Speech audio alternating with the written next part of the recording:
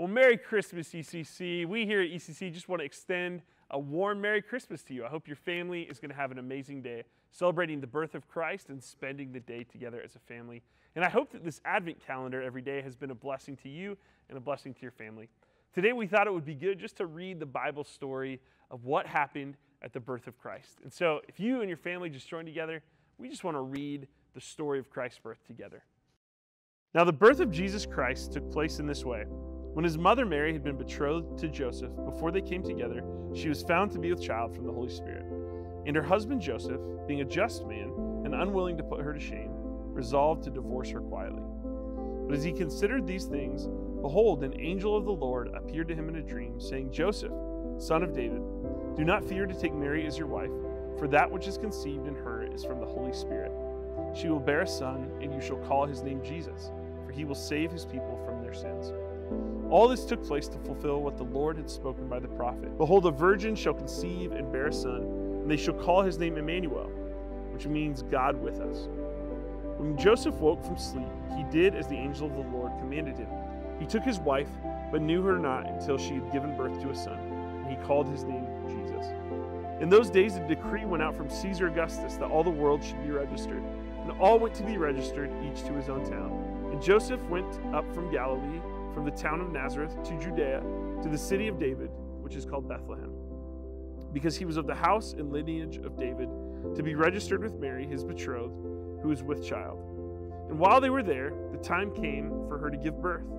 And she gave birth to her firstborn son, wrapped him in swaddling cloths, and laid him in a manger, because there was no place for them in the inn. And in the same region, there were shepherds out in the field, keeping watch over their flock by night.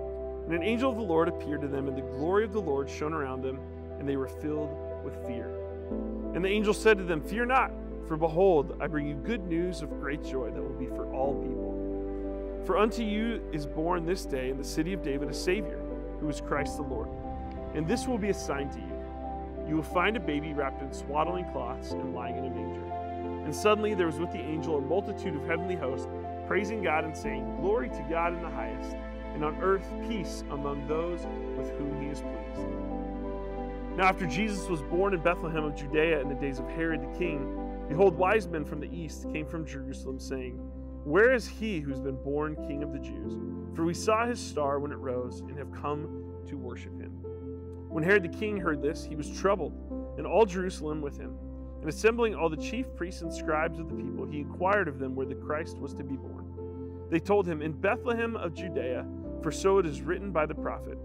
And you, O Bethlehem, in the land of Judah, are by no means least among the rulers of Judah. For from you shall come a ruler who shall shepherd my people Israel. Then Herod summoned the wise men secretly and ascertained from them what time the star had appeared. He sent them to Bethlehem, saying, Go and search diligently for the child, and when you have found him, bring me word, that I too may come and worship him. After listening to the king, they went on their way, and behold, the star that they had seen when it rose went before them until it came to rest over the place where the child was.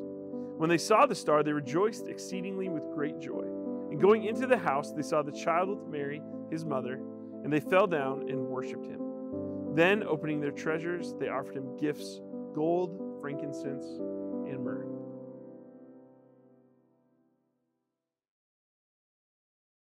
I hope you remember what today is all about, ECC. Merry Christmas.